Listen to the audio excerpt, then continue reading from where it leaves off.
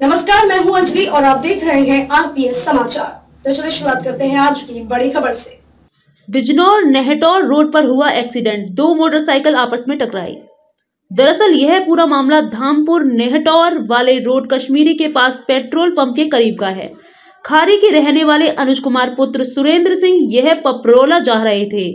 तभी कश्मीरी के पास पीछे से किसी मोटरसाइकिल ने उन्हें टक्कर मार दी जिससे वह सड़क पर गिर गए और बुरी तरीके से जख्मी हो गए। राहगीरों की मदद से फ़ौरन एंबुलेंस को बुलाया गया और अनुज कुमार को धामपुर सीएससी में भर्ती कराया गया। बिजनौर से सैफ मंसूरी की रिपोर्ट। यहाँ खड़े क्या मामला है? वो क्या है क्या? क्या हुआ इसका? गाड़ी से फास्ट ड्रिंक कर रखी है इन्होंने लड़कों ने। खारी से आ रहे हैं ये। इधर से जा रहे थे मोटर में अपना में तो इन्होंने फास्ट गाड़ी चला रहे थे दूसरे से टकरा गए दूसरा बंदा व्यक्ति भी मारा जाता दूसरी साइड जाके उसने काफ़ी मार करा है तो काफ़ी घायल हो गया है व्यक्ति। जी खारी झालू से आ रहे थे? हाँ टपरोला जा रहे थे? हाँ, जी। खारी से टपरोला जा। रहे थे। इस टाइम ये कश्मीरी के पास पेट्रोल पंप हाँ, पे हादसा हुआ है।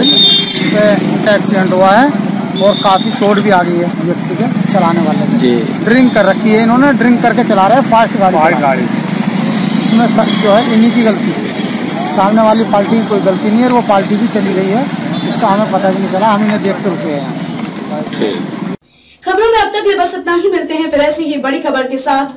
तब तक के लिए नमस्कार और देखते रहिए आरपीएस समाचार।